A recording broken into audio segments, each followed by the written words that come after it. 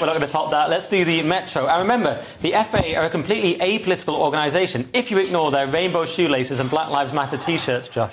Yes, uh, this is uh, England, or the FA actually, uh, refused to light up Wembley Arch in Israeli colours for the Australia match that's um, coming up on Friday. Uh, and what they've done instead is do this kind of mealy mouth tweet where they put out and they said, uh, on Friday evening, we'll remember the innocent victims of the devastating events in Israel and Palestine. And when I saw that, I retweeted it basically saying, you know, what we're going to do. Uh, uh, a, we're going to remember the innocent victims of the Manchester Arena attack and ISIS terrorists, or the World Trade Center and Al Qaeda, because this you, you, you can just commiserate or you, uh, one of these things. You mm-hmm. know what I mean? It, there will be Palestinian innocent lives and that already have been lost, but we can just still go. Wait a minute, this was an unbelievable um, the worst terrorist incident, and arguably in modern times, certainly in terms of barbarity and whatnot. So to, there's nothing wrong with just um, to, to, to, show your uh, support for for Israel or your, you know your thoughts to give your thoughts to that country uh, by just by lighting it up. I mean, it's crazy. yeah, exactly. I mean, they, they put up the colours of the Ukraine flag.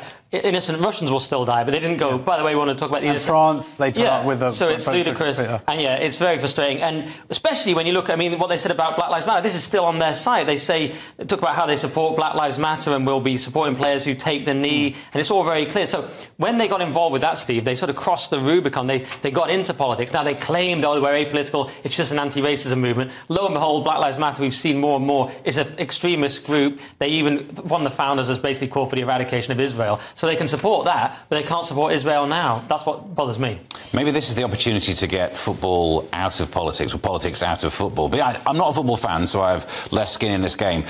I look at these, this entire story and re read when they put various lights on various parts of the building. I don't think it made that much of a difference. I don't think Russia would have won quicker if uh, they'd have put some lights up. So maybe we could just get football. I know people have an obsession with football. I don't understand. Just not getting involved in these things. Well, that would be great, but it's it would, too late because they already have by getting involved with BLM and all the LGBTQ stuff. And my point, Steve, is not that you care about football, but it's what does it say about our yeah. attitude oh, towards yeah. Israel and, and the sort of leftism that's encroached upon everyday life.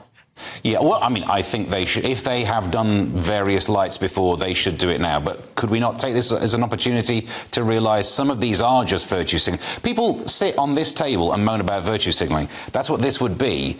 Let's just. I don't know if it's virtue signalling. It's it's signalling um, um, for genuine uh, solidarity, solidarity and, and, and for morality. But would really. you would you believe that the FA mean it just by the lights that they show? No, but it, it's like when it's, when it's on number ten, when it's across Parliament, that says that this country offers support.